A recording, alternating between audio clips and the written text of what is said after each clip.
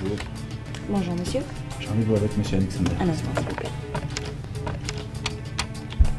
Monsieur Alexander, votre rendez-vous est là. Bien sûr. Alors vous prenez l'ascenseur, vous allez à droite, vous prenez le couloir, deuxième porte à gauche.